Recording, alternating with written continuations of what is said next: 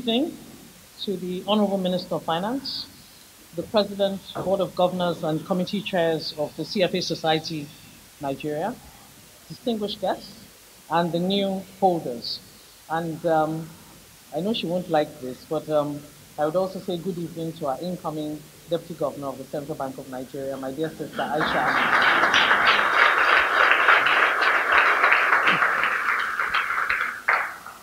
First and foremost, warm congratulations to all the new charter holders on your induction tonight. I would like to thank Mr. Banji Faintola, President of the CFA Society Nigeria, and Vice President Ibukun Oyedeji for inviting me to speak at this event, and most importantly, on a subject matter that is very dear to me. I'm involved in a number of organizations and charities that focus on the empowerment of women, not only in banking and the investment sector, but in the economy as a whole. So tonight I've been invited to join you in a twofold celebration, just as Banji said, which I personally believe to be laudable feats. The first is the induction ceremony of your new colleagues who have all invested their time, energy, and resources towards gaining this prestigious charter. The second, and more importantly for me, is the launch of the CFA Women in Investment Initiative in Nigeria. To the new charter awardees of the CFA Society Nigeria, I commend your commitment and grit in pursuing and attaining this achievement. And indeed, there have been occasions when um, I either haven't seen a colleague in the bank for a while, or I bump into somebody on, in the lift and they're looking puzzled. And I say, oh, I haven't seen you for a while. Where have you been? They say, oh, I'm doing CFA. So I think I think now now I know I know why. You know, there's there's a price to pay for that prize. The CFA Institute is one of the most influential and prestigious professional bodies globally, especially renowned for its commitment to high ethical standards in the conduct of all aspects of investment management. On the launch of the CFA Women in, Man in Investment Management initiative, permit me to share a few thoughts. I'm sure you've all heard the joke that if Lehman Brothers, the failed US firm synonymous with the global financial crash, had actually been named Lehman Sisters, there would have been no crash at all. So I'm sure many of us are thinking, isn't all this women in investment management stuff really much ado about nothing? Why the emphasis on gender diversity rather than other forms of diversity at, at this time? And with all the noise around gender diversity in the workplace, has the impact of gender diversity been successfully and empirically measured? Well, in my personal experience, I will say that it is indeed much ado about some very important and significant things, one being the imperative to increase the ranks of women who are CFA. The inherent intuitive nature of women and their ability to manage money and risk, be it in the home, be it a petty trader, small scale businesswoman, or even a multi million dollar businesswoman, enables us to creatively stretch our resources especially during hard times, to cover more than what is expected. And I'm sure many ladies here will probably find their husbands asking them, but I only gave you so much, how come you were able to do, to do you know, as much as you have? So let's think about it. What are some of the characteristics of a good investment manager? A non-exhaustive list, because I'm sure, you know, on tables they'll be whispering, but there are many more. But a non-exhaustive list would include understanding your market, being skilled at spotting opportunities, the ability to drown out the noise even when the overwhelming sentiment suggests otherwise, being patient, even being a contrarian, dealing well with mistakes, and not looking for short term results. And then what about intuition, creativity, introspection, decisiveness? Don't these already sound like the characteristics of a typical woman? I think they do. I believe that diversity of gender, especially in the leadership ranks, brings perspectives that enrich and enhance the quality of the output within the workplace. In this instance, an investment management company. These are perspectives which may have been missed otherwise without the benefit of diverse experiences. I've had personal experiences in my career where, being the only woman at the table, I brought unique viewpoints into conversations, viewpoints which my male colleagues would never have considered. The view through my prism of life was kaleidoscopic considering how multifaceted the life of a woman is compared to that of a man. And I even discovered that some gender discriminatory workplace practices were not intentionally created, but happened inadvertently because the policymakers were typically men and they just didn't know otherwise the adverse impact that these policies would have on their female staff. Where, where, an organization is serious about the diversity of perspectives that accrue from having women adequately represented, it increases the chances of even financial outperformance. And indeed, there is emerging data from recent studies by the likes of McKinsey, the FT, Catalyst, Mercer, and HBS to suggest that diversity brings a boost to profit profitability. Given the fact that the CFA is gradually gaining ground, particularly in Nigeria and, and in many countries across the world, as the de facto requirement for the investment management industry, probably replacing the MBA over time as, as the be all and end all, it is very important that more women seek this qualification to increase the diversity of women in investment management and ultimately to help improve investor outcomes. The broad range of opportunities to a CFA, whether working as a research analyst, portfolio manager, financial advisor, relationship manager, risk manager, or even, as I said earlier, deputy governor of our esteemed Central Bank of Nigeria, means that having the qualification not only broadens one's versatility in the workplace, but also expands one's career horizon and potentially positively impacts the pocket as well, i.e., compensation. But then I read somewhere that it takes four years on average to complete the program, six months of preparation on the average for each exam, and as much as 300 hours of study time to become a CFA. Wow. By my reckoning, it would take a really determined person male or female, to set the time aside to pursue such a rigorous course of study for a professional certification. Ladies and gentlemen, please recall my earlier comment about a typical working woman's multifaceted life. So she's a daughter, maybe a sister, add to that maybe a wife. She may have children, even twins like I do. Most working women have domestic staff, that's another story. And then a working woman typically also is a cook. And then so she manages her job objectives at work during the day. She also, also has to manage her home objectives in the house in the evening.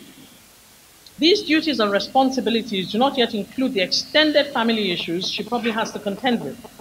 And if she's community oriented, a working woman also has to stretch herself to participate in charitable endeavors. So, ladies and gentlemen, please help me. When would she have the time for 300 hours of study and six months to prepare for each exam?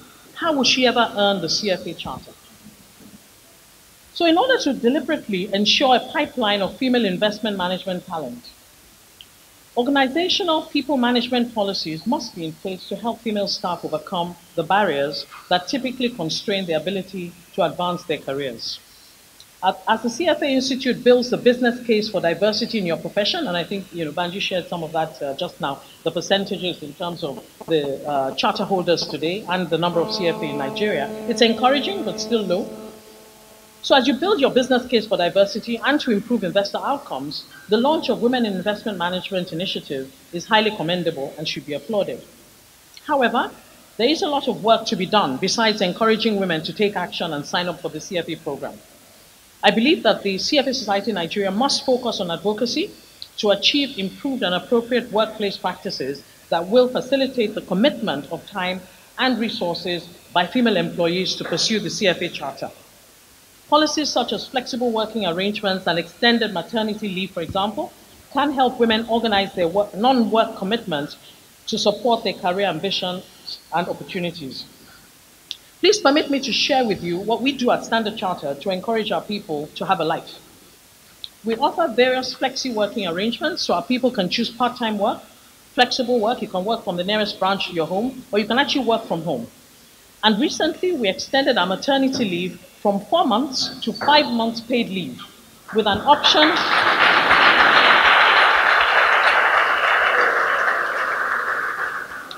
Five months paid leave with an option of an additional unpaid one month off. Please, please. Don't rush me with CVs huh, tonight. I haven't finished. I haven't finished. We also recently, we, we, um, what was I saying here? Standard Chartered also offers adoption leave and paternity leave as well. So we are a very family friendly employer. Indeed, the outcome of our pro work life policies is a very gender diverse organization. Four of the board of nine directors are women. 10 of my 16 strong executive management team members are women. And some of the roles that these women occupy include Chief Risk Officer and Executive Compliance Officer, Chief Financial Officer, Chief Information and Technology Officer, and key business heads. Uh, it, it's not my doing. It, it, it's merit driven. So it just happens this way, but we, we tend to retain a lot of our women in the bank. And I dare say our, our financial performance has been outstanding, and our cost income ratio at below 40% is one of the lowest in the banking industry. So, could it possibly be as a result of the kaleidoscopic perspectives I mentioned earlier? Maybe. I think so. So, Mr. Feintola, we would be happy to share some of our diversity and inclusion strategies with the CFA as you lobby organizations to ensure that they have family friendly policies and help their female staff embark upon and succeed in the CFA program. And indeed, on a case by case basis as well in the bank, we have paid for and will continue to pay for those who want to pursue the CFA charter.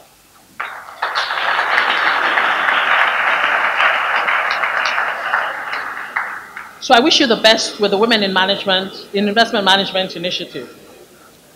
However, before I close, I think um, I've been talking about the enterprise side solutions, and I now want to talk to the women in the room. So, women, let us quit the self limiting beliefs and assumptions. I can't take that job. I may not be able to juggle it with my family commitment. I have to ask my husband first. My mother in law will say I'm too ambitious. Please, let's stop all this nonsense. These beliefs and assumptions do not serve us well in planning for and extracting value from our careers. We also do not put us, they also do not put us in a win-win frame of mind where we are able to effectively identify workarounds to our constraints and seek help and or guidance that can help us take advantage of opportunities. Our multitasking lives involve significant sacrifices and trade offs between our work, our aspirations, and our home lives. As I say to people, work life balance, it rarely balances. I don't want to say never balance. It rarely, it certainly doesn't balance for me, but it rarely balances for most people. The pendulum is always swinging. And there is it also a price that we need to pay for that price. And I know that the ladies who are going to receive the, the CFA charter today have paid a great price. So my strong advice is this. You must first be purposeful and know what you want. You must invest in yourself. You need to sharpen the saw. Investment in yourself promotes self-empowerment. Take charge of your careers. Seek out a sponsor who will bat for you when opportunities arise and have your back when things are tough. Men, now to the men. Here's where you can support this initiative. It's important that you deliberately coach, mentor, promote, sponsor, and ensure women's visibility where you work. It may take some getting used to to understand the specific challenges, but when you commit to being champions for all talent, especially female talent, you create better environments for women to raise their hands and come to the table to deliver the value they carry. And a recent example was when I was invited to speak at a women's network uh, in a bank. There were actually more men in the room than there were women. Most of the questions were asked by the men, and it just, you know, it, it was very encouraging that it was an organization where the men wanted to really understand the issues and challenges of women in their workplace. And I'm sure that on that, on that day, they were much the wiser for it. So I would I'm concluding now. Um, I would say that career negotiation is less straightforward for women than it is for men. So, helping our male colleagues understand the unique circumstances of their female counterparts and working with them to chart the course of their careers that allow for satisfaction across various life commitments is a significant starting point. By no means is a call to promote gender diversity an attempt at women taking over the world, even though I think Beyonce reminds us that we can and we should. But instead, it is a call to challenge ourselves to take advantage of the true value of the diverse resources that workplaces have. It is a call to overcome conscious and unconscious biases towards women in the workplace It is a call to increase the pool of role models of different genders so that coming generations can aspire beyond the boundaries of stereotypes. So to the CFA Society, as this initiative is launched in Nigeria, as I believe has been done in other jurisdictions, I encourage you all to come together and commit to seeing the wealth of perspectives that women do bring and to extract that value for shared satisfaction. At the end of the day, I believe we are, in, we are amidst a cultural shift towards better inclusivity. It, must much, it took much more effort for the, for the women before us, and it will take extra effort for women today.